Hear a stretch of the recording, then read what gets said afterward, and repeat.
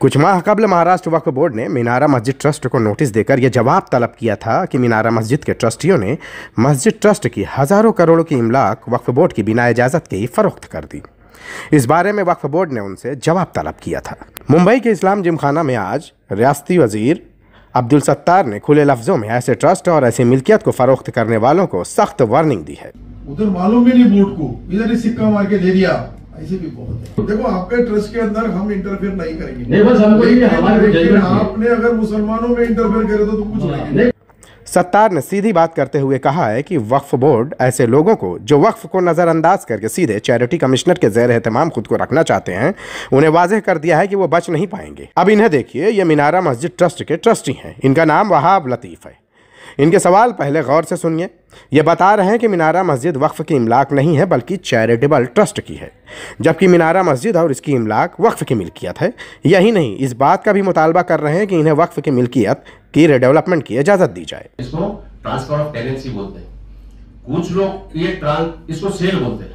और हमारे लिए आज तक इसको ट्रांसफ़र ऑफ़ टेनेंसी लॉ में भी ट्रांसफ़र ऑफ़ टेनेंसी है। तो वक्त की प्रॉपर्टीज़ में टेनेंसी मैनेजमेंट का कोई सेक्शन ही नहीं है। जो वक्त एक्ट है, उसके लिए अगर आप खास बॉम्बे के लिए इफ़ लीगली कोई एडवाइस लेके किया जाए मीनारा मस्जिद ट्रस्ट अलहदुल्ला सब लोग जाते हैं बॉम्बे की बहुत मशहूर मस्जिद है। हमारे नसीब है, उसके खादिम है। हमारे ग्रैंड फादर 1938 में ट्रस्टी बने थे, फिर हमारे फादर अभी मैं हूँ। ये सर मीनारा मस्जिद एक वक्फ बोर्ड के एक अजीब मैटर में 20 बरस से फंसा हुआ है। 2003 में वक्फ बोर्ड जब बॉम्बे आया था तो इतना बॉम्बे वाले को वक्फ बोर्ड से कोई कनेक्शन नहीं था every was connected to the charity commissioner अब इसमें ऐसा हुआ कि कौन सा वक्फ है, कौन सा ट्रस्ट है, उसमें बहुत से लोगों ने केस कर दिया। हमारे मस्जिद के कुछ नमाजी ने भी हाई कोर्ट में 2006 में केस किया कि Minara Masjid as per scheme is not a waqf it is a charitable trust अब लकीली और unluckily they won in the high court 2011 के हाई कोर्ट के ऑर्डर में ये लोग पेटिशनर लोग जीत गए। कि बिना masjid will not go to the Waqf board मेरी बात सुनो सुप्रीम कोर्ट ने सुनो मेरी बात। जब सुप्रीम कोर्ट ने डायरेक्शन दे दिया अभी सीओ के पास अपील करना Yes, सीओ ने डिसाइड कर दिया वो चीज़ नहीं, सर, अपील बोर्ड कोई कर दिया है, एक्चुअली अप्लाई वक्फ बोर्ड कोई चोर नहीं है। हालाँकि टीवी भारत के पास 80 से जायद मिल्कियत की फहरिस्त है, जिसे मीनारा मस्जिद ट्रस्ट के इन ट्रस्टियों ने गैर कानूनी तरीके से फरोख्त किया है। इसकी जानकारी न तो वक्फ बोर्ड में दी गई है और न ही इसे फरोख्त करने के लिए वक्फ बोर्ड से इजाज़त ली गई है। 80 से जायद इमला की खरीद और फरोख्त के इस गोरख धंधे में 200 करोड़ रुपए की हेरा फेरी का इल्ज़ाम इन ट्रस्टियान पर आयद किया गया है, जो मीनारा मस्जिद में गैर कानूनी तरीके से काबिज हैं। रियासती अकलियती वज़ीर अब्दुल सत्तार ने यह भी वाजे कर दिया है कि ऐसे लोग जो वक्फ की इमलाक को चैरिटेबल ट्रस्ट के पुश्तपनाही में वक्फ से बाहर रखने की कोशिश करेंगे, वो कार्रवाई के लिए तैयार हो जाएँ। अब्दुल सत्तार ने यह भी कहा है कि सुप्रीम कोर्ट ने जिन एक सौ तिरासी वक्फ की इमलाक को लेकर वक्फ बोर्ड को नज़रसानी करने के लिए कहा है, वो इमलाक भी वक्फ की ही रहेंगी। हम इसके लिए जल्द ही उन इमलाक की हिफाजत का ऐलान भी करेंगे। उन्होंने कहा कि हम ट्रस्ट में दखल अंदाजी नहीं करेंगे। लेकिन ऐसे ट्रस्ट जो मुसलमानों की इस इमलाक में दखल अंदाजी करेगा, हम उसको छोड़ेंगे नहीं। खासकर जो है ऐसी प्रॉपर्टी या ऐसे ट्रस्ट जो अपने आप को वक्फ से अलग रखना चाहते हैं, अब उनकी खैर नहीं है। क्योंकि अकलियती वज़ीर अब्दुल सत्तार ने यह वाजह कर दिया है कि ऐसे लोग जो ये सोच रखते हैं कि वो अपने आप को वक्फ से बाहर रखेंगे, उनके खिलाफ कार्रवाई की जाएगी।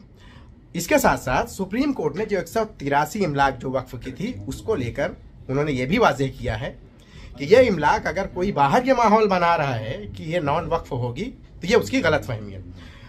मैं सब कुछ छोड़ के एक सौ तिरासी इमलाक के बारे में पूछना चाहूँगा, क्या उम्मीदें लगाएँ वक्फ बोर्ड से? देखो, उम्मीदें नहीं, ये फैसला हमारा सीओ बहुत जल्द लेगा, और वो सीओ फैसला लेते समय जो लोगों को एक सौ तिरासी लोगों को लगता है कि सुप्रीम कोर्ट ने बोलने के बाद में भी हम चैरिटेबल ट्रस्ट में जाएँगे, वक्त में नहीं रहेंगे तो ऐसा हो ही नहीं सकता। वो वक्त प्रॉपर्टी है, उनके नाम पे किया जाएगा, और जो इसको मानेंगे नहीं, कुछ भी चीरी मेरी करने की कोशिश किएँगे, उसके लिए लॉकअप में भी जगह बना के रखे जाएँगी। हमारे हिंदुस्तान के अंदर कानून है, देश में कानून है, राज्य में कानून है। कोई बताऊँगा कानून को खरीदने की कोशिश करेगा तो वो हो नहीं सकता। मैं आपको जो बता रहा हूँ, जितनी प्रॉपर्टियाँ बंबई में हैं वो सारी मुंबई की प्रॉपर्टी वक्फ बोर्ड के अंदर जो सुप्रीम कोर्ट ने जजमेंट दिया है, उसकी अमलबजावनी नहीं किए तो कलेक्टर पे भी कार्रवाई होगी। जो हमारा एक पीआर कार्ड बनाने वाले एक यूनिट रहता है S L R T L R उनके ऊपर भी कार्रवाई होगी। और यहाँ के जो प्राइवेट लोगों ने नाम पे करके रखा है, वो सारे नाम कट होके वक्फ बोर्ड का नाम आ जाएगा। ईटीवी भारत से बात करते हुए रियासती वज़ीर अब्दुल सत्तार ने कहा है कि ऐसे लोग, जिन्होंने वक्फ के इमला के तहफ़ को लेकर बनाए गए कवानीन पर अमल नहीं किया, उन्हें अब जेल की हवा भी खानी पड़ेगी।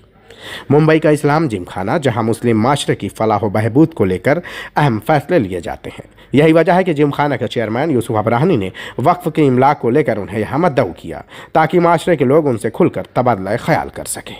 मुंबई से ईटीवी भारत के लिए शाहिद अंसारी।